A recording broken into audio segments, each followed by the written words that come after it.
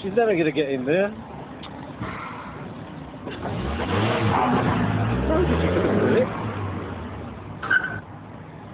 Aye, aye.